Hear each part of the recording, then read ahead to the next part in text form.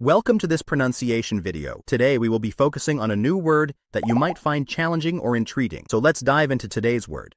Siegel, which means professional title or surname, may refer to individuals or entities. Let's say it all together. Siegel. Siegel. Siegel. One more time. Siegel. Siegel. Siegel.